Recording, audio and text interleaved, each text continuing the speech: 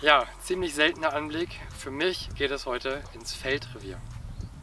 Der Raps blüht in seiner vollen Farbpracht, der Mais ist gesät und dementsprechend sind auch die Wildschweine wieder am Start. Das heißt, es geht raus zur Wildschadensabwehr. Dem widmen wir uns allerdings erst morgen früh. Heute Abend geht es nämlich raus auf Rehwild. Hier wird noch ganz klassisch selektiert. Ich soll entweder einen schwachen Jährling schießen oder einen alten Bock. Ich denke, ich werde mich eher auf die schwachen Jährlinge konzentrieren. Wenn es passt, vielleicht auch ein Schmalreh. Und dann geht es morgen früh raus auf Sauen. Aber eins nach dem anderen, jetzt geht es erstmal raus auf Rehwild.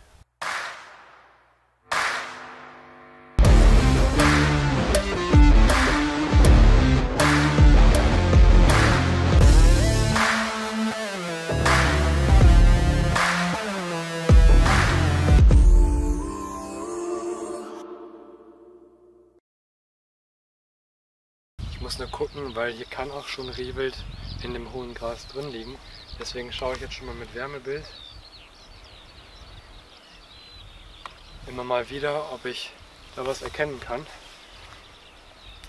Aktuell kann ich noch nichts sehen, aber das heißt nicht unbedingt was, weil ich hier deutlich niedriger bin und es jetzt berghoch geht. Da kann man das nicht so gut erkennen. Also jetzt heißt es vorsichtig hochpirschen und Kanzel beziehen.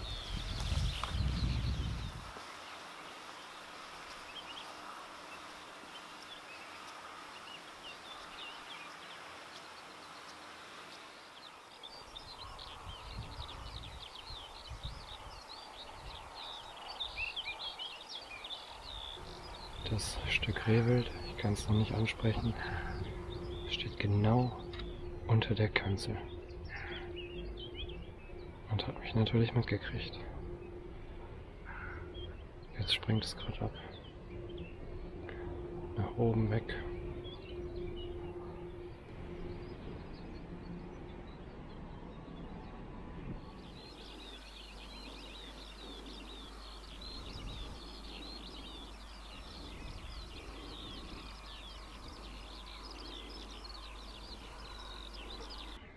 Jetzt steht die Sonne schon relativ tief. Und ähm, ja, zwei Rehe im Anblick bei bestem Licht. Für mich hat es sich jetzt schon gelohnt eigentlich.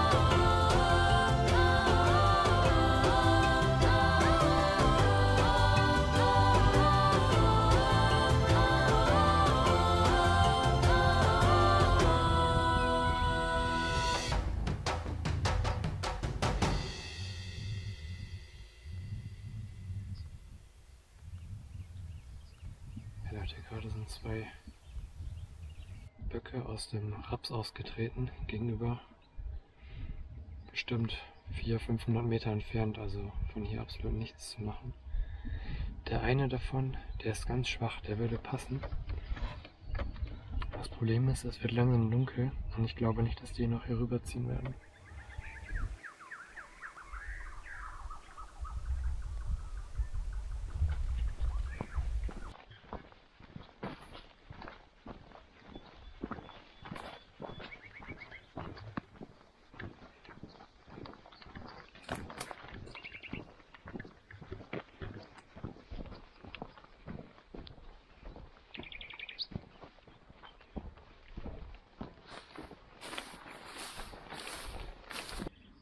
Steht der Bock.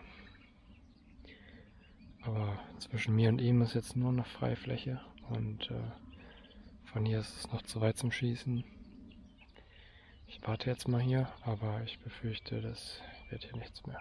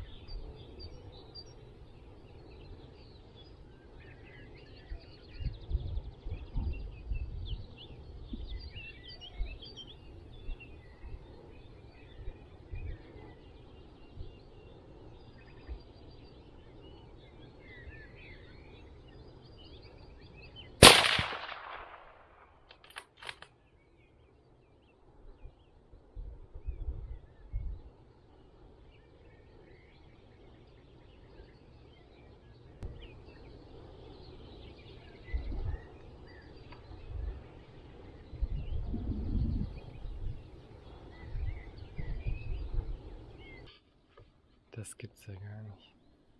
Guck mal, wo ich bin. Da vorne steht mein Auto. Da habe ich geschlafen. Und 50 Meter entfernt schieße ich jetzt einen Bock. Gerade am Ende der Pirsch angekommen. Beziehungsweise wollte dann nochmal woanders hinfahren. Ja, und dann kurz vor dem Auto sehe ich diesen sehr schwachen Jährlingsspießer Sieht eigentlich gut aus. Ist auch nicht wieder aufgestanden. Ich habe jetzt ein paar Minuten gewartet. Und ähm, jetzt hole ich mal die Hunde aus dem Auto. Weil äh, die werden jetzt wahrscheinlich ziemlich aufgeregt sein. Und ähm, dann gehen wir mal schauen.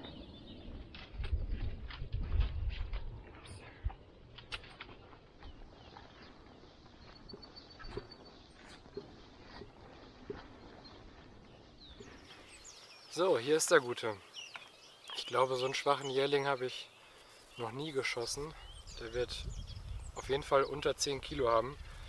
Ähm, für mich ein optimaler Abschuss. Nach genau sowas habe ich hier gesucht. Das Warten hat sich also gelohnt. Hatte ja viel im Anblick.